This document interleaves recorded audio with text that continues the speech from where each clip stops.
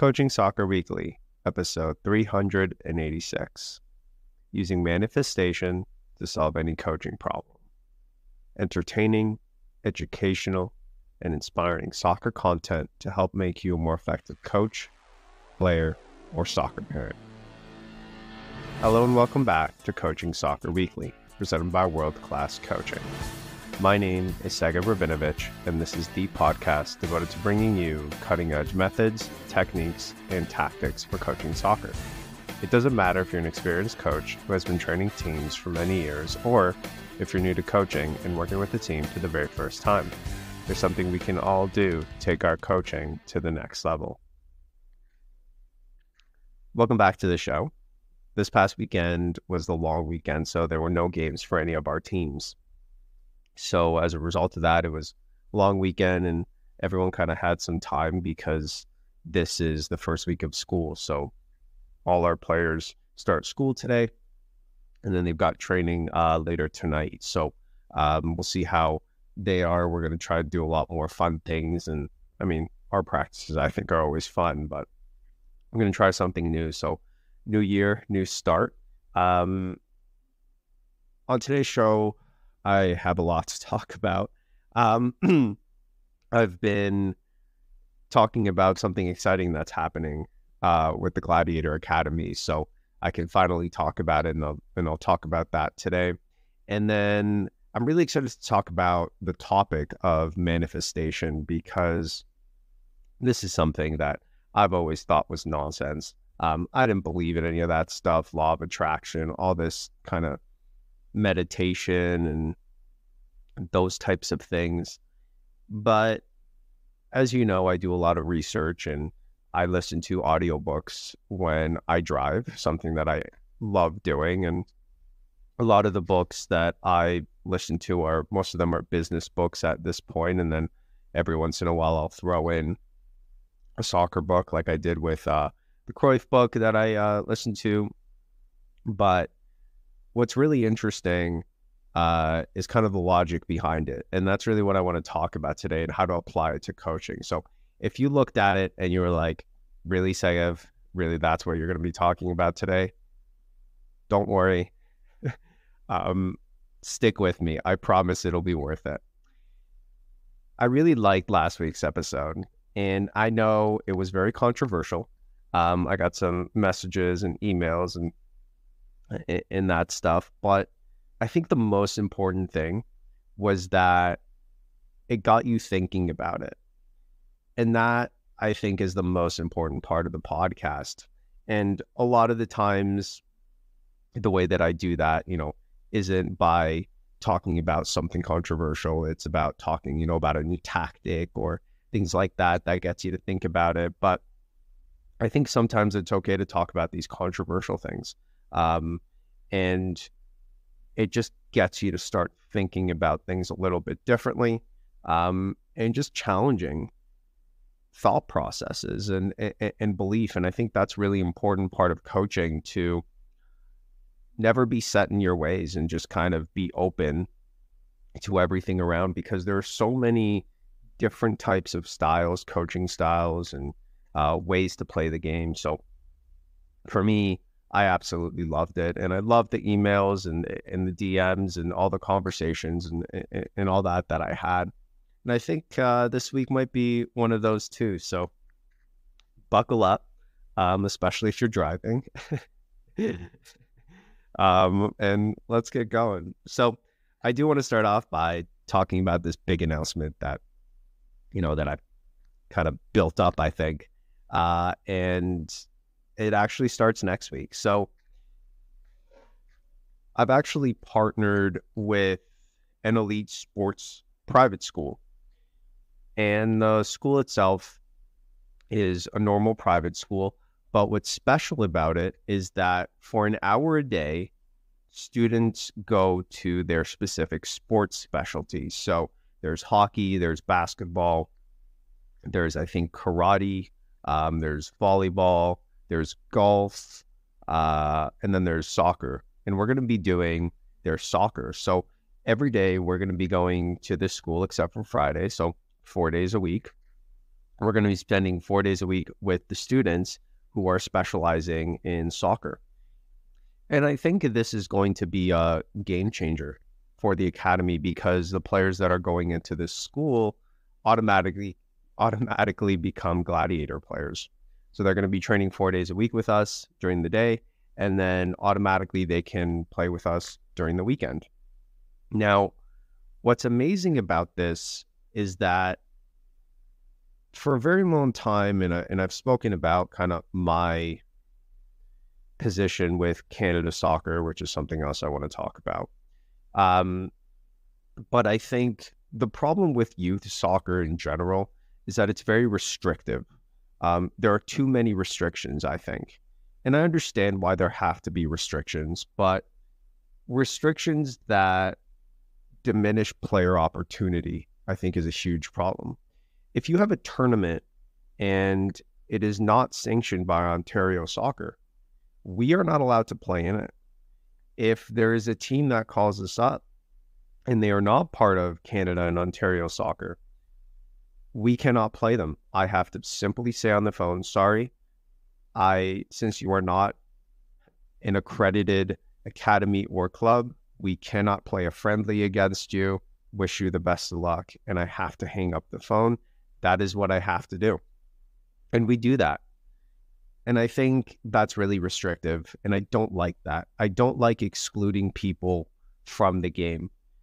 Canada Soccer, Ontario Soccer, their mission is to grow the game.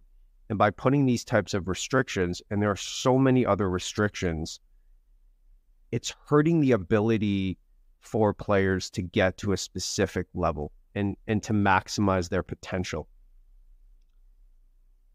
we have leagues. We have a league called OPDL, which is just has ridiculous standards that don't matter um, and have gotten to the point where now youth soccer to play in the OPDL is about $5,000. It's a ridiculous amount because it's not the league fee, but if you want to be an OPDL club, you have to be training five days a week. You have to have your own facility. There are so many different things that bring the cost up that clubs simply have to charge players an insane amount of money so they can cover all their costs.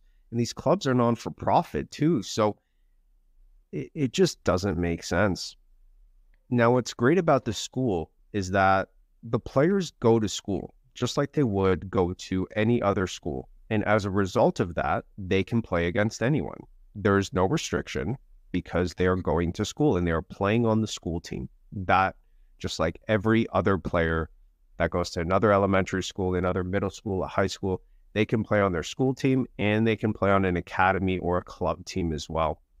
So, our players that go to this school are now able to play against anyone and if someone calls me up and says, you know, hey, Segev, you know, we have a team that wants to play a friendly, I can say, no, you cannot play against any of our gladiator teams, but I am associated with a private school. Let me talk and see if we can organize a game with them. And that's allowed, right? There's no conflict of interest. There is no nothing because those players that are going to the school during the day are not at all Ontario soccer, Canada soccer representatives. They're not they're not a part of that. So it's a really great way to open up the development platform for players. Now I'm really excited because for the first time we have the ability to see players 4 days a week. And the ability to create a curriculum around that where we can really maximize player development. And when I went to Chelsea, one of the things that really impressed me wasn't just the soccer part of it, it was what they call the player care part. And the player care part is everything that isn't really associated with soccer. So, uh, the mental health of players, the physical health of the players, how the players are eating, nutrition, right? All those things have to do with the player care part, not the physical soccer part. They contribute to the success of the soccer player, but the expertise are independent of the soccer player, right? A nutritionist is not a soccer coach, right? Um, someone who works with mental health is not a soccer coach. So all this stuff is going to be available at the school. And now we can really talk about creating a holistic person, right? That is also a great soccer player. So I'm really excited about that. And as the year goes on and, you know, we get more accustomed to the schedule and the school and the players, I'll really start to talk about this and kind of how we're building this program because we're starting from zero. So, building this program into what I hope will be the best program in the world. That is my goal, right? Because if you have the ability to train players four days a week, that's almost every day. They're also playing a game in on a Saturday on the weekend. That's five days a week of soccer right? There is no reason why these players should not, at the end of the high school, uh, grade 12 senior age, come out as some of the best players if you are coaching and developing them correctly. So I'm super excited about this opportunity. And for me, this is kind of the next step because now we're going to get these elite athletes to come in into our teams that now we're both developing players in an academy setting and in a school setting. And I think it's really just going to change the way that our academy is built and also allow us amazing opportunities around the world to partner with certain um, professional clubs and uh, certain tournaments that before we just weren't able to do and go as a private school with a private school team. And we've worked with other private schools. I've worked with, uh, you know, I think three different private schools at this point, and we've coached their teams, and it was fantastic. But it was only for a season, right? The soccer season here for schools is about a month long. So it's not really, you don't really get to work with players all year. So this will be the first time that we'll be able to work with players for a very long period of time. And I'm super excited for that. So that starts next week. Kids are picking their specialty this week, um, kind of getting used to the school as well. And then next week will be the start of all the sports programs there. For anyone that knows me, they know that I'm passionate about two things in life.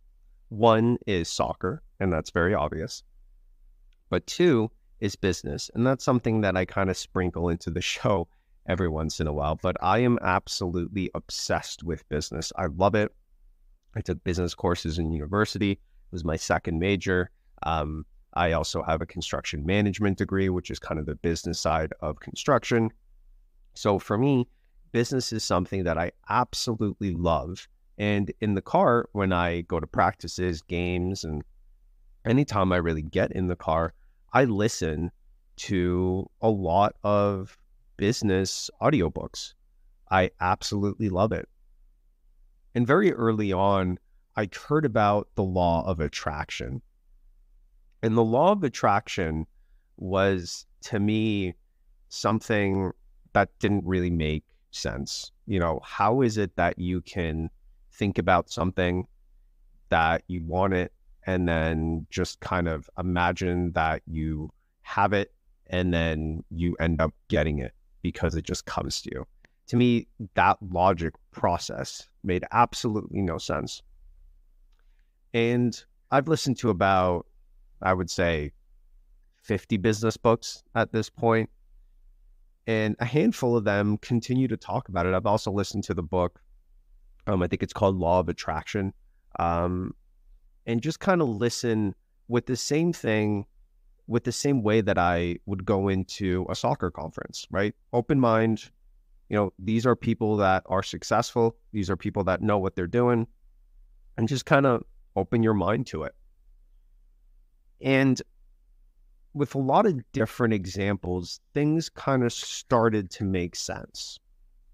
And for me, I'm a very logical person. So I need a way that logically something makes sense.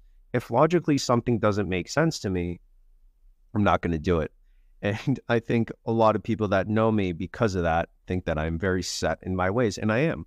And I'm set in my ways until someone can prove to me using logic that something is better. And that's why until now, I've been doing 1v1s and rondos every practice because until now, I haven't found anything logically that works better to develop our players. So let's talk about this law of attraction. Now, the law of attraction for me, that name is, I think, a huge problem. So let's forget using those those words because I don't think that's going to help. I want to give you a different example, and an example that for me has really changed the way I think about how to do this and why I think using this process is the best way to really solve any problem that you have when it comes to coaching. Any problem. So, one of my coaches got a new car recently. And um, what happens is he drives to my house, leaves his car there, and uh, then I take him to practice. So we're in the same car. And as soon as I saw his car, we started talking about it and all this and all that. And something really interesting happened. When we started driving, I started to point out all the other cars that were the exact same as his. Just as we're driving, you know, oh, here's one in yellow, here's one in white, here's one in green, here's one in black, here's one in this and that and this and that. And the interesting thing is that these cars were always there, but I never noticed it. I never really noticed how popular that car was until it was something that I thought about. And to me, that is the best way to explain the law of attraction from a logical point of view. Let me give you another example, an example more soccer related, which I do. Last week, I spoke about building out of the back, and I spoke about how we have to condense the team more, right? So that we can have more support when the wingers have the ball, right? And that's going to allow us to keep possession a lot more and keep the ball in the other team's half whenever we're in trouble. And the reason I was able to figure that out was because it was in the forefront of what I was thinking about. And I went in that weekend watching a Manchester City game with that simply in my mind. How are they building out of the back? How are they doing this? How are they keeping possession? How are they getting the ball to half and keeping the ball and not just losing it when they get to half? And it's the same thought process with the car, right? You start to think about the car more because you're talking about it. Suddenly you notice it everywhere. You start to think about building out of the back. You start to see it everywhere. And that to me is the start of how to solve any problem, any problem that I've ever had, ever, ever, ever, ever, ever, ever. All I did was I started to think about it and kept it at the front of my mind. And whenever I went into a situation, it would be front and center. So let's talk about the school. Now, as you know, I'm obsessed with 1v1s. I love it. I think it's probably one of the most important parts of player development. However, I've been struggling to figure out how to do that, but not overwork the kids in the way that we do it, which is just everyone on one field, put a ball down and play. And because it was always in my mind and I was always thinking about it, there was a moment where I don't know how or why, but I thought about something that Anson Dorrance did. And I think it came from the place where Anson Dorrance is running a very successful program at a school.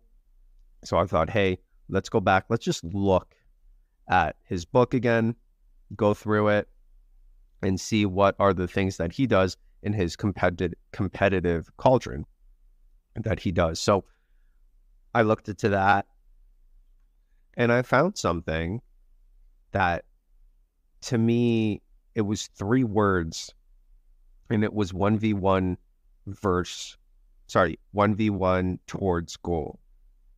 And that instantly because everything i was thinking about was that 1v1 really changed and gave me a new idea. So this law of attraction this manifestation stuff try and think about it in a different way don't think about you know energies and all that stuff. And if you believe in that, fantastic. But take a different approach the approach of what's wrong with this? And what I mean by that is what's wrong with this in a soccer context, not what's wrong with what I'm saying. What's wrong with my team? What are we struggling with? Okay. Who is the best? And I mean the absolute best at this or who is someone that I respect that talks about this, right? For me, the possession, easy, Manchester City, right? And then take that, the struggle, go into that environment where your struggle is someone else's success and just watch and just watch with an open mind. And I guarantee you that will kickstart the problem solving for you guaranteed, as long as you do one thing, and that is keep an open mind. If you go in there with uh, skepticism, negativity, then it's not going to work. But the law of attraction to me, that manifestation, more the law of attraction, is that you're attracting something into your life because you're thinking about it. And because you're thinking about it, you're open to it. And if you're not open to it, that's a problem. So you have to be open to these ideas. And in order to be open to it, again, these two things put yourself in that environment, immerse yourself into that environment, and be ready for new ideas to come to you because they will, right? If you're open to something and you're smart, which you should be if you're listening to this podcast, right? It shows that you are open, it shows that you do care about your coaching education. And that's something that would really work. Now, let's say there's something and you don't really know who to go for, right? You, go, well, I want to work on my players 1v1 defending. I don't know anyone around that I can just kind of call up. And to that, I say, fantastic, no worries, I got you, don't worry. Here's what you do think about the best player in history. Best player in history that is good at what you want. 1v1 defending. Okay, for me, player that I respect, a player that I think is fantastic at it, the 1v1 that I would want, ideally, my players to be good at defensively, Kyle Walker. Hands down. Say what you want. I want my defenders to be like Kyle Walker. Here's what you do super simple YouTube, and you simply write in those keywords. 1v1 defending Kyle Walker. Simple as that. And you look up, and that will start you on that journey if you are lost. And this is how, for me, I come up with my best ideas. The best ideas I've ever had have taken me about three to four hours, and they've mostly been on YouTube, and they've mostly gotten me down this huge rabbit hole that started in one place and ended up in a completely different place. So let's do that right now, right? We can start with that idea of 1v1 defending Kyle Walker. I look it up. Suddenly, what I notice is I actually notice that when he's doing his 1v1, he's tackling the player at a certain moment. So then I go into YouTube and I go, when to tackle in soccer, when to tackle the ball in soccer. And I go, no, I hate that. I don't like it. Okay, I don't like the way the words are. I don't like what's coming up. I need a better word for tackle. Okay. Maybe commit, right? So I would change that to commit. And now I'm starting a brand new search. It's a very s- specific subsection of 1v1 tackling. And you continue that process until you go for about three to four hours. And I guarantee you, after those three to four hours, you will come out a completely different person. But again, as long as you do these two things, you keep an open mind and you immerse yourself in that environment, right? And immersing yourself in that environment looks like watching different videos in YouTube, right? Video one, video two, video three, video four, video five. Just do that. See what comes up. After that, pause and just take some time to yourself and think, and it'll come to you. Now, I know this is a soccer podcast. I know this is a coaching podcast, but this is something that I use in my daily life. Again, the idea of law of attraction, manifestation, all that stuff, to me was introduced in a business setting, right? So I use this a lot in my business world, right? When I want something, for example, the whole private school thing, since this is what we're talking about, that didn't happen overnight. I reached out to about 40 different schools before this one finally said yes. We run after school programs, we run lunchtime programs. We are very flexible, but all those things led me into this private school because it was at the forefront of my mind. So for me, this idea is now ingrained in who I am as a person. And anytime I have a challenge in my life, rather than overreact, rather than yelling, rather than this and that and getting upset, it becomes kind of like a game and a new challenge. And if you look at it that way, right? I listened to a podcast um, and he talks about how business is for the rich people. Um, it, it's more of a game, right? And, and if you take that approach that things are more of a game and your job is to figure out a way to solve the problem rather than, oh, why is this happening to me? Right? All these negative thoughts, which if you're negative about something, there is no chance you're going to be able to solve it. You're not in the right headspace. So, this law of attraction is really the philosophy, the ideology, the the fact that as long as you keep it at the front of your mind, you will start to notice it. And eventually, if you do it for long enough, then you will find a solution to the problem because it's out there in the world, right? It's out there.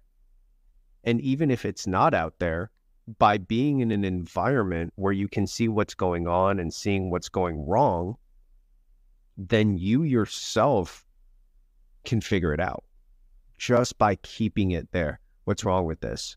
Okay, how do I change that? Okay, that's not what I want specifically. Okay, what else can I do? All these different things will lead you to solving that problem. Just before I go, um, I did want to say that I'm very worried about Canada soccer. The fact that John Herdman has left, who is the reason we are where we are uh, in the world of soccer. He's just been probably the best thing that's ever happened to Canada soccer. And I've spoken about that in the past. Uh, and after he left the women's program, you know, uh, we saw what happened in this World Cup. Now, some will say, oh, Segev, they won the Olympics. No, John built that team and uh, once he left, those players were at their peak. Uh, and now we can see what happens when he left. You know, the new coach struggled with bringing in new players, uh, keeping the old players, not knowing what their role was, and all that. So, uh, Canada, Canada soccer is in trouble. Um, and I think we might have seen the golden years. Who knows? I mean, we'll have to see who they appoint. I'm cautiously optimistic. Uh, it's very hard to do what he did. So, whoever's up for the job next, uh, uh, with the mess that is Canada soccer, they've got a, a, lot, a lot to live up to. So, um, yeah, that's that's where we are. In- hey, thanks for watching all the way to the end, and you can check out more of our videos right here. And if you haven't done so already, I would really appreciate it if you'd hit the like button and the subscribe button.